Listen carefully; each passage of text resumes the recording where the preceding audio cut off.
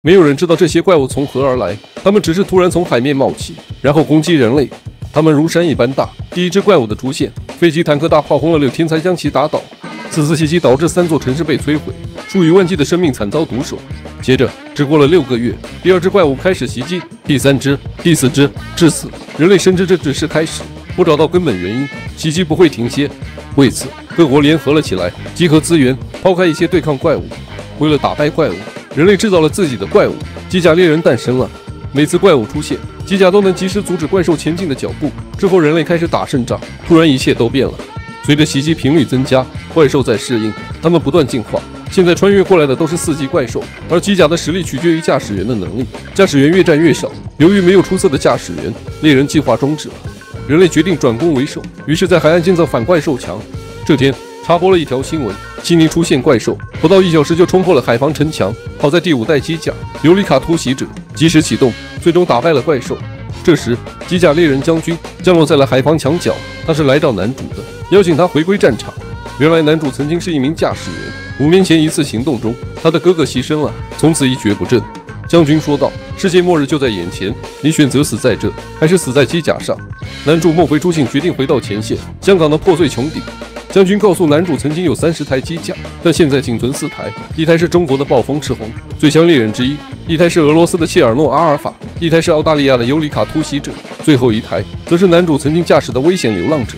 哥哥死后，他也一己之力打败怪兽，并独自操纵残破的流浪者返回海岸，人类才得以修复它。你所看到的就是人类最强兵器，巨大如山的机器人，每一步都是雷霆万钧。如今流浪者重返战场，男主需要一名副驾驶。配合最默契的是这名日本姑娘贞子，但他们没多余训练的时间。这时候出现了两只四级怪兽，其他三台机甲同时出动，流浪者则留下待命。暴风赤红率先遇到怪兽袭击，暴风赤红启动三把旋转刀刃，帅呆了！暴风赤红手臂狂舞，肆意的切割怪兽，怪兽一把抓赤红手臂，赤红启动推进器，凌空而起一个借力将怪兽甩飞。身后的谢尔诺紧接补刀，对着怪兽就是一通暴锤。但四级怪兽不是吃素的，怪兽发力顶翻切尔诺，转头将敌意集中在赤红身上。钢爪般的尾巴袭来，直接捏爆了赤红的驾驶舱。战斗民族怒了，决定为队友报仇。还没近身，不料怪兽嘴里吐出了强酸，切尔诺机体被腐蚀。坚守阵地的突袭者不得不增援。突然，另一只怪兽从海底一跃而起，当场撕碎了切尔诺。增援过来的突袭者只能按住强酸怪兽暴打。正准备启动导弹终结怪兽时，另一只怪兽释放了蓝光冲击波，方圆百里的电力系统全部瘫痪。数控装备的突袭者只能原地罚站。这时候要相信光，怪兽身后一束强光袭来，是危险流浪者。只有他是模拟装备，不受断电影响。怪兽恐怖的力量竟将流浪者甩飞，流浪者滑行好久才停下。流浪者冲刺选择硬刚，跳过去就是一击爆锤，接着启动火箭飞旋，这一拳暴击，怪兽脑瓜子嗡嗡的。怪兽抓起灯塔就抡流浪者，流浪者也不甘示弱，抓起集装箱回击。怪兽急眼，打不过就得死你。流浪者淡定的打开等离子炮，持续射击怪兽，手臂被打断，终于倒下了。接着，流浪者抡起货轮朝破坏城市那只怪兽走去，也不惯着他，直接开抡。怪兽被打得满地找牙，怪兽还想乱吐痰，流浪者灵活躲过，反手教他做人，将怪兽舌头拽了出来。怪兽暴怒了，双脚死抓流浪者，竟挥动起了巨大翅膀。它越飞越高，飞出了地球，驾驶舱的氧气快速流失。危急时刻，贞子想到他们有一把装备——锁链剑。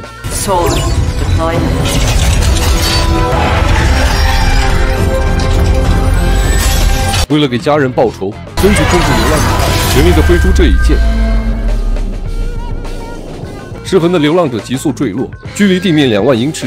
男主孤注一掷，启动胸口燃料推进，最后流浪者安全着陆。人类打了一场漂亮的胜仗，他们必须尽快修复两台机甲，因为还有一场终局之战。人类和怪兽的决战即将开始。全人类最后的两台机甲被投掷进太平洋里，他们朝着深海缓慢前进。此次任务是将炸弹投进次元穿越口，有两只怪兽镇守在此。距离入口不到三百米时，怪兽突然停下待命。同时，两个科学家通过研究怪兽大脑得知，入口会识别怪兽基因，必须骑着怪兽进去，不然炸弹就会偏离穿越口。原来，两只小弟不动是为了迎接老大。一个庞然大物缓缓升起，是一只五级怪兽，代号毒妇。同时，后方怪兽憎恶攻击了流浪者，流浪者和憎恶缠斗在一起。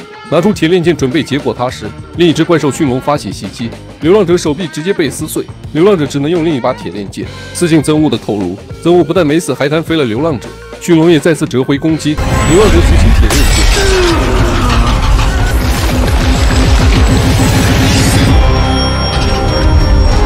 突袭者这边被毒夫用触手打飞好远，毒夫猛扑过来和突袭者近身肉搏，结果吃了没武器的亏，被突袭者刺伤，毒夫打不过，只能就叫憎恶过来帮忙。两只怪兽打算夹击突袭者，突袭者决定为流浪者清出一条路来，启动了核反应堆，海洋被炸出了真空区域，接着海水急速涌回，两次冲击流浪者几乎瘫痪，流浪者拖着怪兽的残骸一瘸一拐地走向裂缝，五级怪兽竟还没死，流浪者先发制人。开启后推动器，一把抱住怪兽坠入裂缝。男主启动胸口燃料，烧穿了怪兽心脏。流浪者顺利坠入裂缝，来到外星人的世界。这里阴森恐怖，到处都是怪兽。映入眼帘的还有一个诡异的球体。男主及时启动核反应堆，乘坐救生舱逃生。一声巨响，流浪者爆炸，一丝空间被炸得稀碎。冲动穿越路口也崩塌了。男主和贞子在太平洋上浮起，任务完成。虽然人类个体非常弱小，只要团结一致，必定坚不可摧。